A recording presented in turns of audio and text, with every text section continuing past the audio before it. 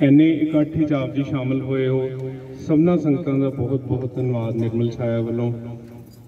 ਬੇਨਤੀ ਅਰਦਾਸ ਇਹੀ ਹੈ ਕਿ ਨਿਰਮਲ ਛਾਇਆ ਦੀ ਚੜ੍ਹਦੀ ਕਲਾ ਰਹੇ। ਅੱਗੇ ਵਧੇ ਫੁੱਲੇ ਕਾਮਯਾਬੀਆਂ ਹੋਣ ਸਭ ਦੀਆਂ। ਇਹ ਅਰਦਾਸ ਬੇਨਤੀ ਗੁਰੂ ਸਾਹਿਬ, ਮੇਰਾ ਮਿਹਰਮਤ ਕਰਨ। ਕੱਲ ਦੀ ਪ੍ਰਭਾਤ ਫੇਰੀ, ਮਾਇਆ ਗਾਰਡਨ ਫੇਸ 3 ਅਤੇ ਸਾਊਥ ਸਿਟੀ ਵੱਲ ਉਧਰ ਸਵੇਰੇ ਇਸੇ ਤਰ੍ਹਾਂ ਹੀ 5:30 ਪੰਜ ਸਵਾ ਪੰਜ ਆਪ ਜੀ ਨੇ ਉੱਥੋਂ ਆਰਾਮ ਕਰਨਾ ਹੈ।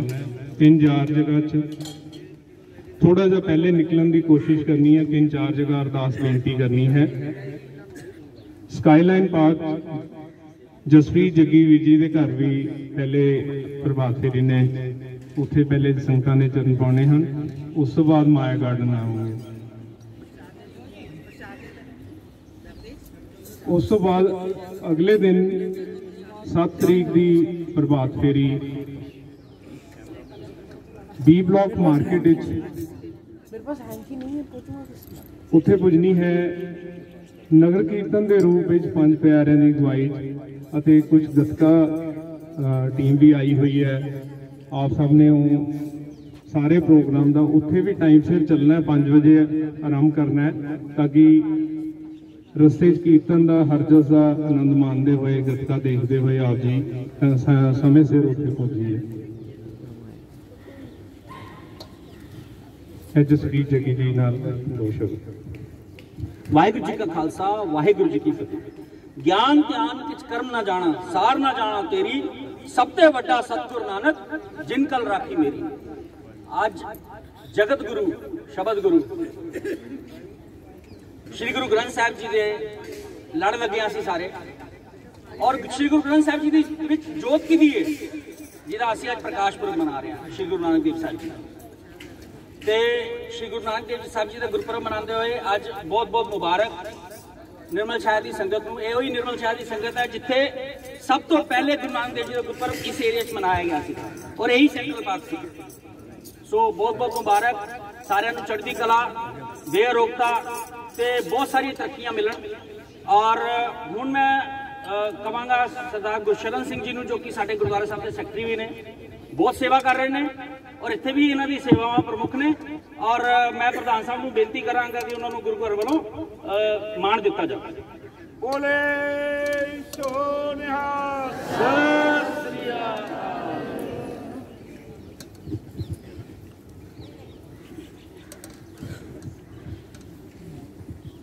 ਛੇ ਤਰੀਕ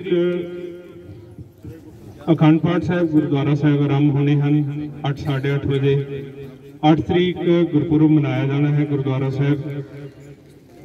ਐਵੇਂ ਹੀ 8-9 ਵਜੇ ਦੇ ਵਿੱਚ ਵਿੱਚ ਸਮਾਪਤੀ ਕਰਕੇ ਤੇ ਬਾਹਰ ਪੰਡਾਲ ਵਿੱਚ ਕੀਰਤਨ ਦਰਬਾਰ ਸੱਜੇਗਾ। ਆਪ ਸਭ ਸੰਗਤਾਂ ਨੇ 10 ਵਜੇ ਤੋਂ ਲੈ ਕੇ 1 ਵਜੇ ਤੱਕ ਪ੍ਰੋਗਰਾਮ ਹੈ। ਸਭ ਸੰਗਤਾਂ ਨੇ ਵੱਧ ਚੜ ਕੇ ਉੱਥੇ ਹਿੱਸੇ ਪਾਣੇ ਗੁਰੂ ਗੁਰੂ ਘਰ ਦੇ ਲੰਗਰਾਂ, ਲੰਗਰ ਵੀ ਅਟੁੱਟ ਵਰਤਾਏ ਜਾਣਗੇ।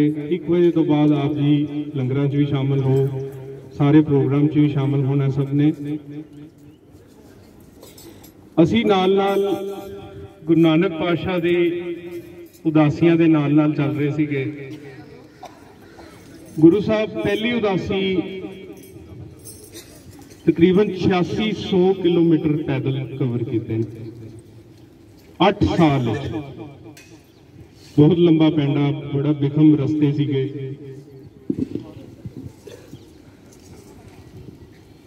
ਅੱਠ ਸਾਲਾਂ ਬਾਅਦ ਗੁਰੂ ਸਾਹਿਬ ਪੰਜਾਬ ਵਿੱਚ ਪੁੱਜੇ ਨੇ। ਜਿਹੜਾ ਗੁਰੂ ਸਾਹਿਬ ਨੂੰ ਪਹਿਲਾ ਪਹਿਚਾਣਨ ਵਾਲਾ ਬੰਦਾ ਰਾਏ ਬੁਲਾਰ। ਉਹਦੀ ਉਮਰ ਬਹੁਤ, ਜਦੋਂ ਗੁਰੂ ਸਾਹਿਬ ਗਏ ਸੀਗੇ 8 ਸਾਲ ਪਹਿਲੇ, ਉਦੋਂ ਵੀ ਬਿਰਧ ਸੀਗਾ, ਹੁਣ ਬਹੁਤ ਹੀ ਬਿਰਧ ਹੋ ਗਿਆ ਹੈ। ਜਦੋਂ ਜਾ ਰਹੇ ਸੀ ਗੁਰੂ ਸਾਹਿਬ, ਤੇ ਬੜੇ ਭਰੇ ਮਨ ਨਾਲ ਭੇਜਿਆ ਸੀ ਢਾਂ ਮਾਰ ਕੇ ਰੋਇਆ ਵੀ ਸੀ। ਉਹਦੀ ਦਿੱਲੀ ਇੱਛਾ ਸੀ ਕਿ ਗੁਰੂ ਸਾਹਿਬ, ਮੈਂ ਜਦੋਂ ਆਪਣੀਆਂ ਅੱਖਾਂ ਮੀਟਾਂ, ਮੇਰਾ ਅੰਤਲਾ ਸਮਾਂ ਹੋਏ ਤੁਹਾਡੇ ਦਰਸ਼ਨ ਸਾਹਮਣੇ ਤੁਹਾਡੇ ਹੋਣ। ਗੁਰੂ ਸਾਹਿਬ ਕਹਿੰਦੇ ਨੇ ਮੈਂ ਜਾ ਤਾਂ ਰਿਹਾ। ਸ਼ਬਦ ਰੂਪ ਵਿੱਚ ਮੈਂ ਤੁਹਾਡੇ ਨਾਲ ਹੈਗਾ। ਜੇ ਸਰੀਰਕ ਰੂਪ ਵਿੱਚ ਕਹਿੰਦੇ ਹੋ, ਜਦੋਂ ਯਾਦ ਕਰੋਗੇ ਮੈਂ ਪਹੁੰਚ ਜਾਵਾਂਗਾ ਹੁਣ ਸਮਾਂ ਉਹਦਾ ਤੁਸੀਂ ਇਹ ਸਮਝੋ ਗੁਰੂ ਸਾਹਿਬ ਦੇ ਲਈ ਜ਼ਬਰਦਸਤੀ ਵੇਟ ਹੀ ਕਰ ਰਿਹਾ ਹੈ ਇੰਨਾ ਬਿਰਧ ਹੈ। ਗੁਰੂ ਸਾਹਿਬ ਪਹੁੰਚ ਗਏ ਹਨ ਰਾਏਪੁਰ ਤਲਵੰਡੀ ਚ। ਪਤਾ ਚੱਲਦਾ ਹੈ ਕਿ ਬਹੁਤ ਬਿਰਧ ਹੈ। ਬੜੇ ਦਿਨ ਤੋਂ ਰਾਏਬੁਲਾਰ ਮਨ ਚ ਬਹੁਤ ਤਾਂਗ ਵੱਧ ਗਈ ਹੈ ਕਿ ਕਿਵੇਂ ਦਰਸ਼ਨ ਹੋਣਗੇ? ਰਾਤ ਸਾਰੀ ਰਾਤ ਦਰਵਾਜ਼ਾ ਖੁੱਲਾ ਰੱਖਦਾ ਹੈ। ਕਿ ਮਤਾ ਕਿਤੇ ਰਾਤ ਨੂੰ ਹੀ ਜੇ ਆ ਗਏ ਗੁਰੂ ਸਾਹਿਬ ਤੇ ਮੈਨੂੰ ਦਰਸ਼ਨ ਹੋ ਜਾਣਗੇ।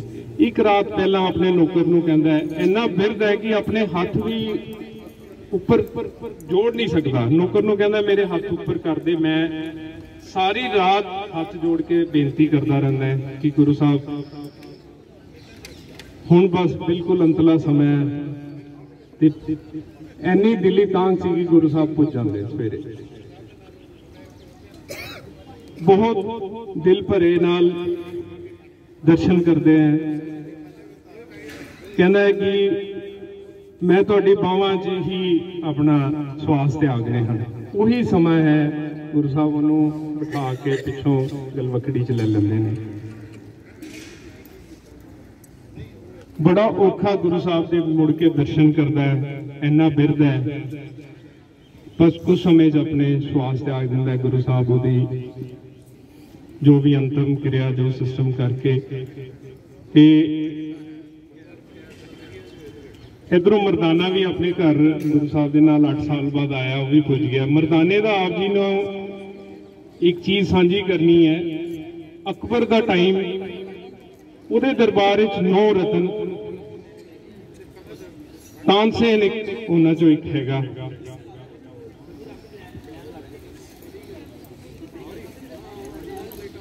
ਤਾਨਸੇਨ ਨੂੰ ਅਕਬਰ ਕਹਿੰਦਾ ਤੂੰ ਇੰਨਾ ਵਧੀਆ, ਇੰਨਾ ਅੱਛਾ ਰਾਗ ਗਾਣਾ ਹੈ।